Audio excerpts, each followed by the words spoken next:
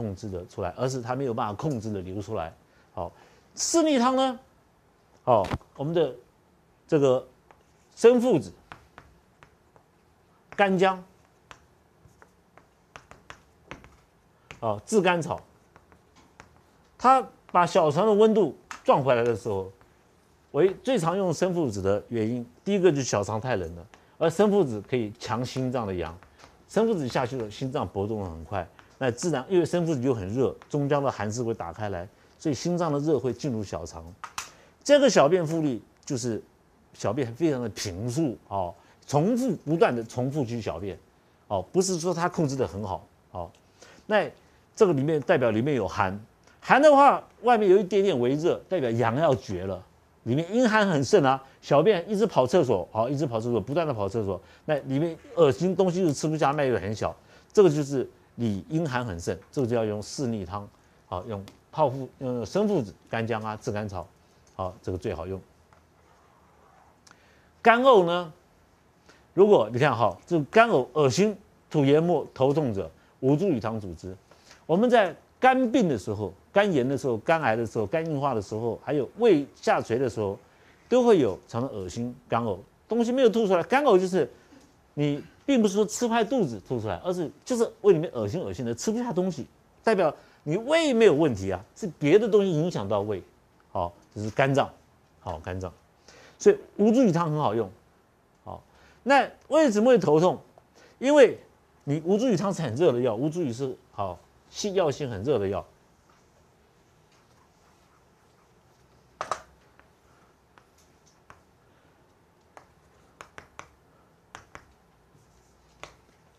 胃本身在这边，那来自的原因呢，可能是肝顶到胃，肝肿起来顶到胃。那顶到胃以后，胃的容积变小了，胃的蠕动也变缓了，胃家就变成寒症。本来这胃本来没有寒呢，是可是因为肝脏的问题造成的，好影影响到胃，好，那胃气往上升的时候，头痛，这个头痛出现的时候，吴茱萸汤的头痛出现一定是在印堂这里痛，好，绝对不在两边旁边，一定在印堂这里痛。印堂这里呢，就是胃的所在，好。好，诸位看第三百九十五条，呕而发热，只要恶心，好而发热。如果说在厥阴篇的时候，大部分是恶寒，手脚冰冷嘛，好，偶尔发热，代表说他已经回到阳了，好，小柴胡汤组织。所以你如果说治疗一个肝硬化、肝癌的病人，他原来是身体是冷的，你帮他治治治治治，哎，他突然说恶心有啊，但是我现在身上是热的，他不感觉到冷了哈，水也退掉了，好。这就是代表进入少阳了哈，好，我们知道从从少阳进入太阴，再进入少阴，才进入厥阴。那你治疗厥阴的时候，回到太阴，回到回到少阴，回到太阴，然后再回到少阳，代表病在退，好，这都是很好很正常的一个现象。好，第三百九十六条，如果一个人呢伤寒，好，太阳表证，结果呢？被大吐大下，照理说应该是汗解。大吐大下之后呢，身体里面肠胃的津液伤到了，好急需，好以其人外气，因为他表还在那边啦，还没有去，还没有好这个去掉。那如果这个时候你发他的汗，再发他的汗，好，好意思就是说，他大吐大下以后呢，肠胃里面津液伤到，已经寒掉了，寒掉以后你再去发他的汗，一发汗的时候。他肠胃的津液更少了，然后呢，再次的发他的汗，这个时候肠胃造成肠胃的冷掉，所以胃寒呢，有可能是这种情形产生胃寒，也有可能你喝咖啡每天喝也是胃寒，喝果可乐每天喝也是胃寒，好吃蛋糕吃咖黑森林也是胃寒，好那个都是寒的。那这个时候婴儿得睡，好这个时候你要喝水的话，胃里面是寒的时候，你一喝水下去打嗝，好，所以病人咯咯的时候，我们知道。啊，他是喝了冷水，好，胃中寒冷太冷了，好，这是一个，这是一种情形会造成胃里面冷的原因。胃冷的方法造成胃冷的原因很多，比如你长期的，我告诉你，长期的你喝咖啡嘛，哈，长期的喝可乐，好，所以你们叫那个小朋友不要喝可乐，好，可乐不好。你看那个谁啊，我们我们有个小孩子十三四岁在广州啊，这个爸爸妈妈很疼啊，独生子啊，大陆一胎化，小朋友口渴，不要喝水了，水不好你就喝可乐好了，给他前就喝可乐。就是他从小口渴，口渴的时候就喝可乐，喝了后来骨头都断掉，然后脑部的智慧，脑部的脑部成长像老年人六十岁的脑袋，怎么已经萎缩掉了？才十三岁啊，哦，所以这种东西都不好。为什么萎缩瘦小就是寒嘛？哦，寒症的话越来越小，热症的话越来越大，好，就是寒症。好，所以不要想办法去，不要自己去想办法制造寒出来。好。三百九十七条就是伤寒的最后一条，伤寒打嗝的时候有腹满，视其前后知何不不利，利之即愈。好，这个条变出来的时候，诸位呢，你看哈，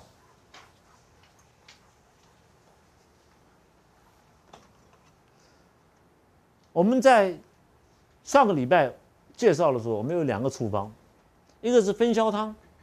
分消汤可以用在脾脏实症、肚子腹腹水的时候积食，比如说脾脏肿大了，分消汤很好用啊。哦，肝癌的时候肿的时候，我们用补气健中汤，对不对？有一个处方呢，我们我们叫做补中啊治湿汤。这个补中治湿汤呢，好，就是前面的。补气健中汤，把泽泻拿掉，好换当归、木通、生麻。我开给你看哈，人参、白术各四钱，哦，苍术、茯苓、陈皮，哦，麦冬。哦，麦门冬、当归、木通。各三钱，各三。好，然后呢，黄芩、后补各二。好，生麻呢？好一，这个生麻可加可不加。如果不人病人呢，如果说啊嫌你这个药太苦了，嫌药苦的话哈，可以去之，把生麻拿出来。这个补中治湿汤，是我们临床上在用的时候，病人呢已经肝病到末期了，没有办法了。这给他一急，从最后个条边，腹满视其前之何部不利利之。肝癌到后期的时候，都好大便大小便都没有了，大小便没了，最重要的是小便，小便好。那我们知道呢，我们了解呢，好，这个肝在中间，好，里面肿大，可能是整个中好中隔。身体的中隔，哦，这是肝，哦，这个，然后肚子肿得非常的大，搁在中间。我们知道它是寒湿，知道它是寒湿，所以呢，我们要去强脾，胃肝胃的药，哦，像陈皮、茯苓、苍术、哦，白术，这种都是肝胆利湿，能够行湿。排湿的药，麦门冬呢能够润肺。好，我们治肝的时候，上面肺，我们一个看治病一个处方出来，不能说只针对一个脏，一定要兼顾其他的东西。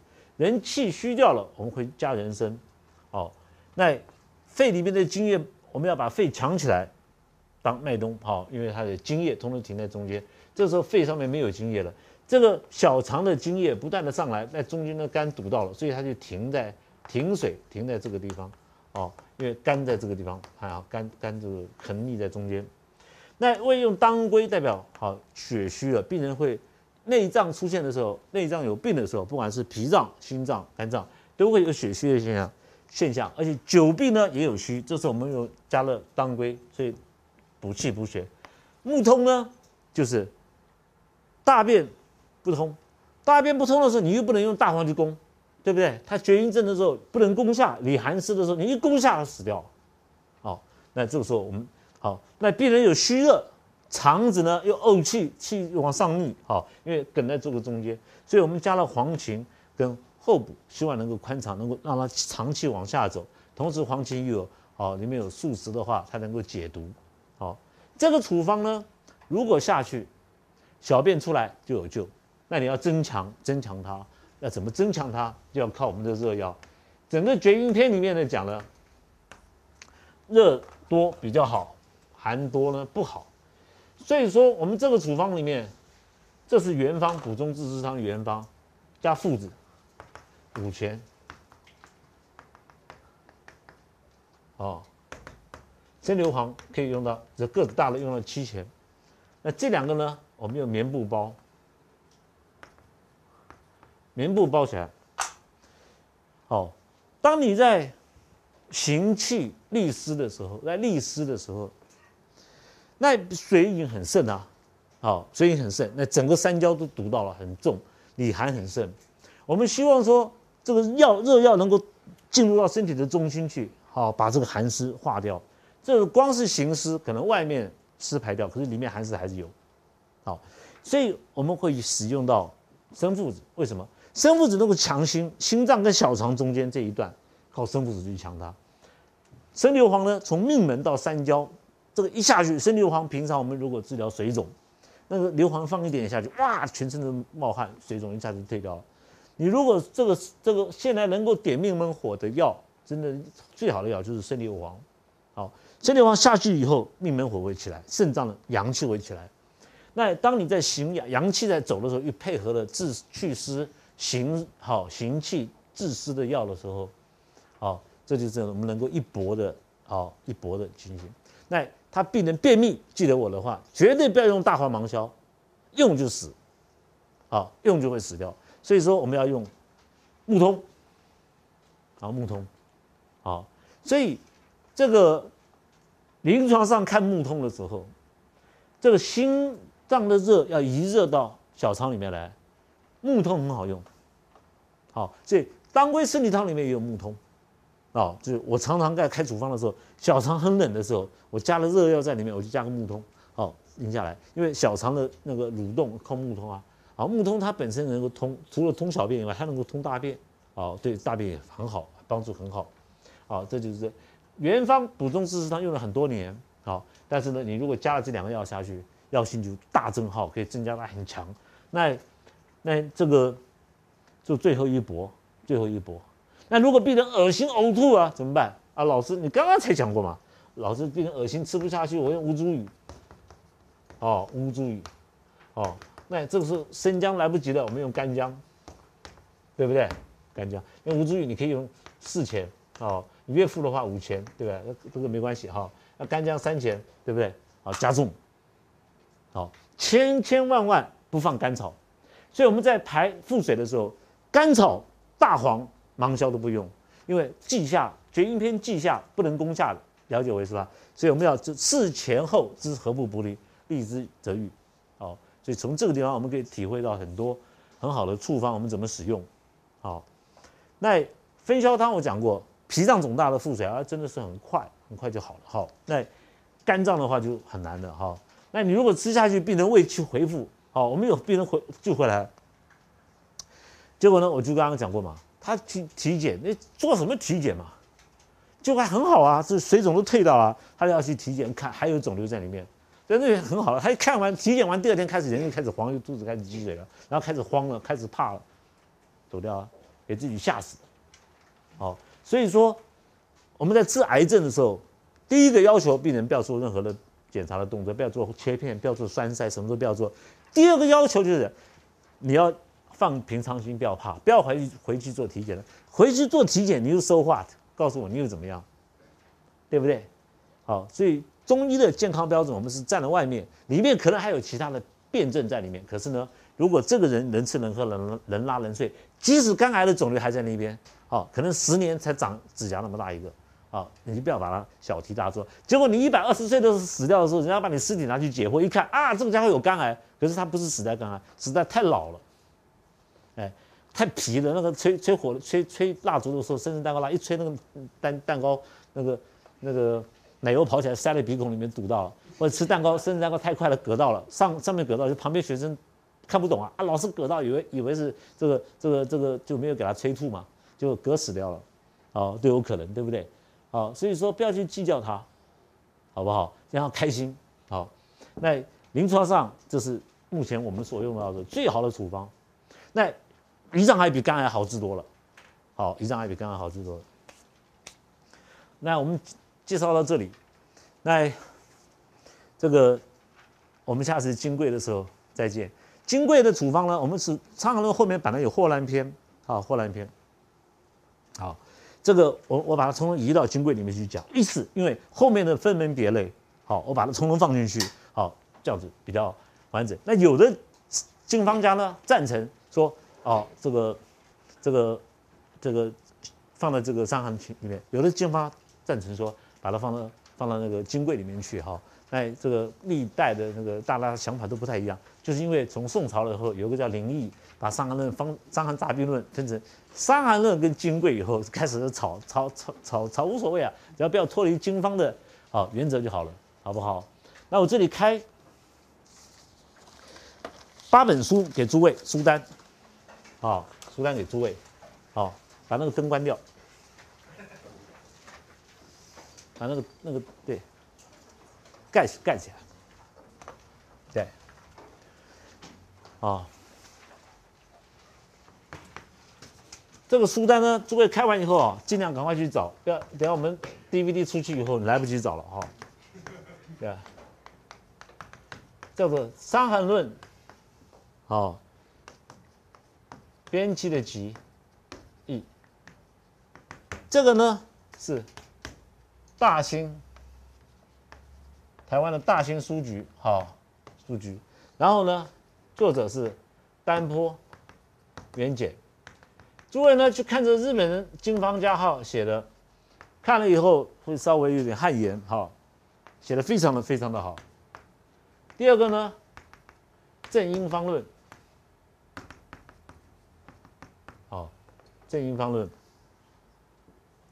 这个是清朝，好，汪。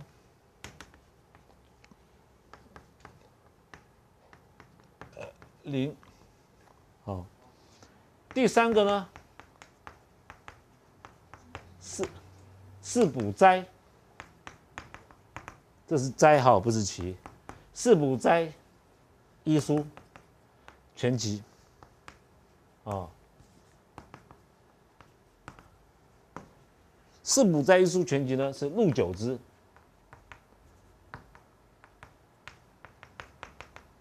好。还有父亲主，哦，父亲主，还有戴天章，哦，父这些都是经方家。这个父亲主呢是叫有名的侠医，他的学生就是陈世陈世铎，哦，所以我相信陈世铎出版的写的那个那个十十十世秘录跟《黄帝外经》就是他们。父亲组呢这还有，还有《黄帝外经》哈，还有呢，可以看的是徐灵台，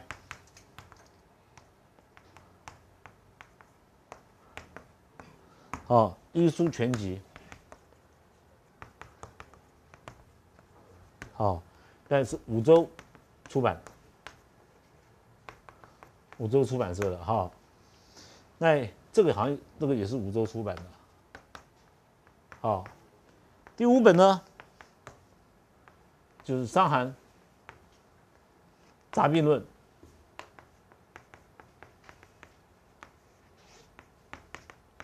这个《伤寒杂病论》并不是桂林版的哈，它是台湾的士林出版，出士林出版社出版的哈。作者呢，就是东汉张仲景。啊，就是原文呐，哈，要看原文嘛，哈。所以我的解释归解释，诸位还是要回头看原文，哈。在第六本呢，就是我们讲的《十四秘录》，哦，《十四秘录》十字秘录就是陈世铎，好，陈世铎。现在外面好多版本。第七个呢，就是《黄帝外经》，一定要看，那个是正本，哈，绝对是真的。那《黄帝外经》哈不是假的，好，不是人编的。现在人编不出来，写不出来那种文笔，哈，《黄帝外经》。第八呢，哦，《伤寒论》，哦，解说。好，这个是日本呢大种进节，好很有名的经方家，啊，他著的，他自己写的，哈，所以说这都可以拿来参考。现在呢，金匮还没有开始讲的时候，诸位呢看伤寒就好了，看伤寒看熟，把条辨弄熟，处方弄熟，先不要去看金匮，金匮我来帮你开开启蒙，我来帮你打根基，然后等我讲完金匮以后，你再去看金匮的书。哦，比较不会错，不然的话，这样子看看了看了你会误误误解啊。所以说这些诸位买到到手上了以后，就看伤寒伤寒的部分就可以了，好，不用看其他的，好不好？这些都历代的经方家，啊，都非常的优秀，哦，好，好，明年呢，我们七月份开始讲，好，七月份开始讲金贵。那在有大概大概大概有五个月到六个月的时间，好好准备，好准备把伤寒读熟，我们再开始介绍介绍金匮的话，啊，这个就很简单。好，谢谢哥，谢谢大家，大家都辛苦了，好。